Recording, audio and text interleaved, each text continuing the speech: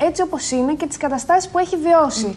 Σε μια σύντομη σχετικά συνέντευξη, η Μάρο Λίτρα μας μίλησε ακριβώς για αυτό που είπε Σάνα, για το ότι βίωσε ξυλοδαρμό σε μια σχέση και όχι μόνο ξυλοδαρμό, αλλά και βίαιη συμπεριφορά, mm-hmm. όπως επίσης δεν διστάζει να πει ότι έχει πάει σε ψυχολόγο και πόσο στο εξωτερικό οι άνθρωποι είναι τελείως απενοχοποιημένοι από αυτές τις καταστάσεις και στην Ελλάδα οι celebrities δεν τολμούν να τα πούν όλα αυτά για να δώσουν παράδειγμα προς μίμηση και για τους άλλους. Και από τη λέξη κατάθλιψη. Κάποιοι φοβούνται. Έτσι. Ναι. ναι, ναι, σίγουρα. Και κάποιοι φοβούνται ακόμα και τη λέξη κατάθλιψη να πούν ή να παραδεχτούν ότι έχουν περάσει ένα δύσκολο στάδιο στη ζωή τους. Ωστόσο, η Μάρο Λίτρα και φυσικά Όλγα μου εσύ τη συνάντησες και κατάφερες να την ξεκλειδώσεις, να το πούμε έτσι. Μα δίνει μηνύματα ζωής. Λοιπόν, πάμε να την ακούσουμε.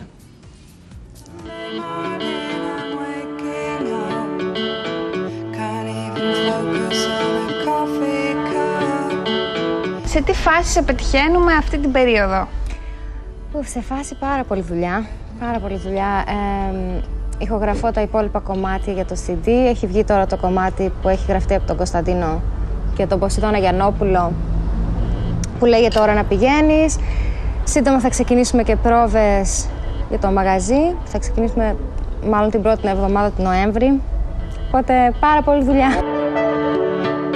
Ήθελες πάντα να γίνεις τραγουδίστρια; Κοίτα, το μικρόβιο το είχα μέσα μου αυτό. Ε, τώρα, όταν ήμουν μικρή, δεν ήξερα ακριβώς τι ήθελα να γίνω. Απλά ήθελα να γίνω κάτι.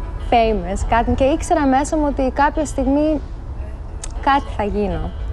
Ε, τελικά έγινα τραγουδίστρια.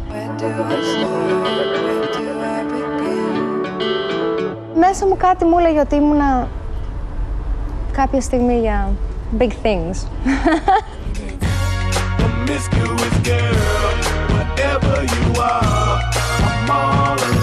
Πάντα δηλαδή με τη μουσική ναι, είχες να ασχοληθείς. παράλληλα ε, σπούδαζα σχεδιάστρια μόδας και δούλευα επίσης σε πάρα πολλές δουλειές. Έχω δουλέψει και τρεις δουλειές ταυτόχρονα. Τι δουλειές; Έχω δουλέψει και σε σινεμά ε, making popcorn και αυτά. Έχω δουλέψει και σε φαρμακείο, έχω δουλέψει και σε μαγαζί με ρούχα, έχω δουλέψει σε μαγαζί με παπούτσια, έχω δουλέψει σε εστιατόρια σε σερβιτόρα, έχω δουλέψει στα σερβι... ε, μικρότερη που ήμουν στα εστιατόρια του παπά μου. Στις πωλήσεις δεν τα πήγαινα καλά γιατί ήμουν πάρα πολύ ειλικρινή.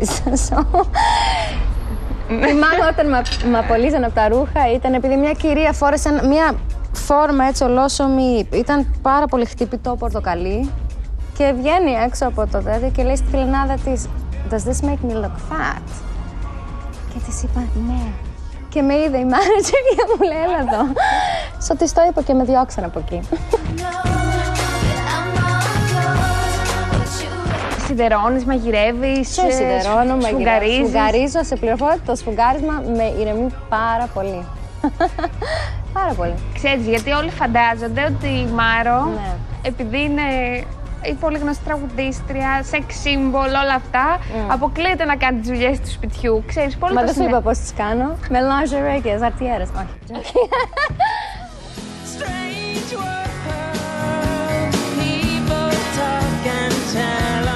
Απόψε είδα στον όνειρό μου τον άντρα μου, τον πρώην άντρα μου. Μιλάτε τώρα; Όχι, όχι, δυστυχώς όχι. Δεν μιλάτε γιατί είναι πληγωμένος προφανώς, έτσι δεν είναι; Ε, λογικό δεν είναι. Νομίζω ότι εγώ θα μου μιλούσα. Όπως εγώ δεν μιλάω σε κάποιους που με έχουν εμένα πληγώσει.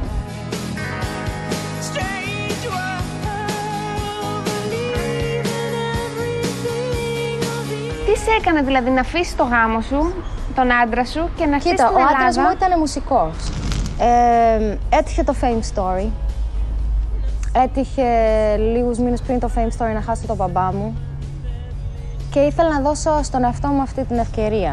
Δεν είχα κάνει όνειρα ότι θα γίνω μεγάλη τραγουδίστρια στην Ελλάδα, οπότε να μπω στο Fame Story για να γίνω αυτό.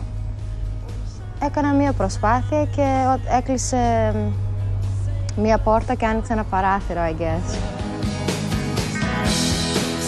Ένιωθα ότι έπρεπε μια αλλαγή να γίνει. Ε, και έγινε. Τι είναι αυτά που δέχτηκε που σήμερα η Μάρο δεν θα τα δεχόταν με τίποτα από μια σχέση της; Ε, δέχτηκα αρκετά. Αρκετά. Και δεν τα δέχομαι άλλο. Όλα τα έχω περάσει. Δεν θα σου κρύψω ότι δεν έχω περάσει κάτι.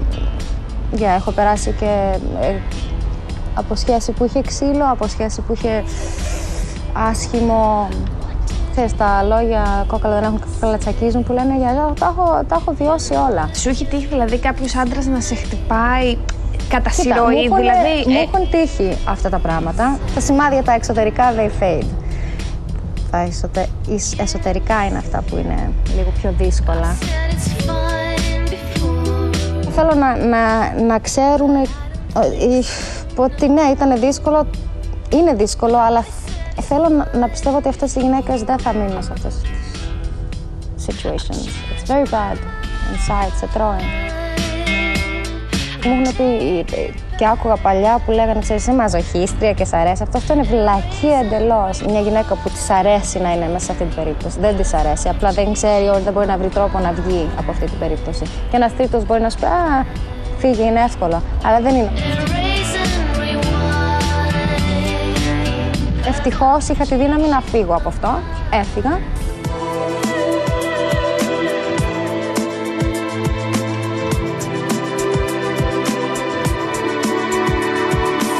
Έχεις περάσει περίοδο κατάθλιψης; Ναι.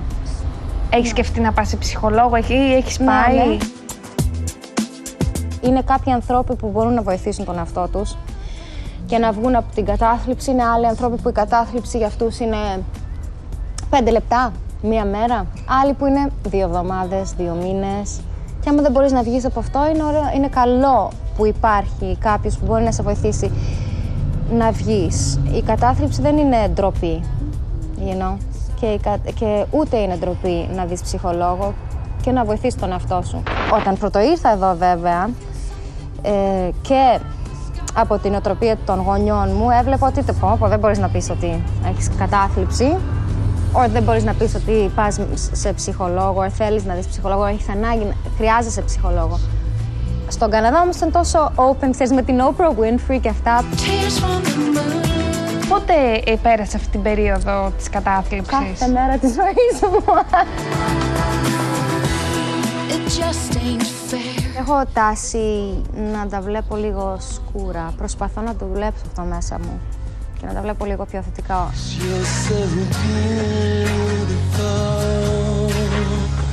Έχεις βρει το πριγκιπά σου; Όχι. Πίστεψες ότι τον είχες βρει, αλλά τελικά αναπογοητεύτηκε.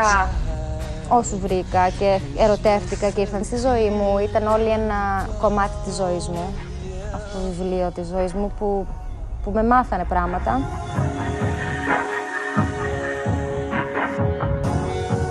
Έχεις βιώσεις ζήλια σε σχέση σου; Ναι, έχω ζηλέψει, με έχουν ζηλέψει.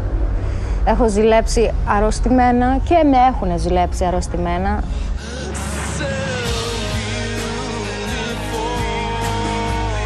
Θα ήθελες να κάνεις ένα παιδάκι; Ναι, θέλω πάρα πολύ. Αλλά δεν, ε, έχω σκεφτεί in the past εγωιστικά και έχω πει ότι ε, θα το έκανα και μόνη μου, θα υιοθετούσα. Αλλά νομίζω ότι το έχω αναλύσει τόσο πολύ και πιστεύω ότι ε, καλό είναι να έχει ένα παιδάκι και τους δύο γονείς.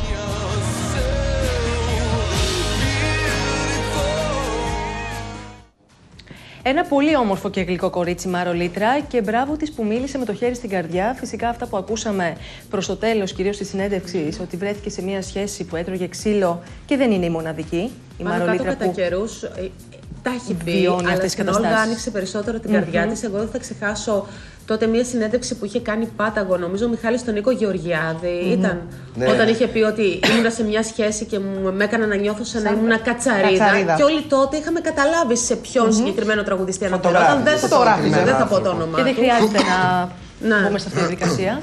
Η ουσία είναι μας έχει συγκλονίσει όλους όταν είχε αναφέρει αυτή την κουβέντα. Ότι δεν διστάζει να μιλήσει. Εγώ το λέω και το ξαναλέω στο εξωτερικό. Τα μεγαλύτερα ονόματα μιλάνε απενεχοποιημένα για τα πάντα και στην Ελλάδα δεν τολμούν να μιλήσουν. Έχουν άλλη νοοτροπία όλοι. Ακριβώς. Έχουν ζήσει. Μπράβο. Και να ευχαριστήσουμε πολύ και το Πέπε Νέρο, το πολύ όμορφο εστιατόριο που μας φιλοξένησε. Βεβαίως. Ευχαριστούμε πάρα πολύ και τη Μάρο Λίτρα. Λοιπόν, πάμε τώρα γιατί μας θέλετε πάρα πολλά μηνύματα.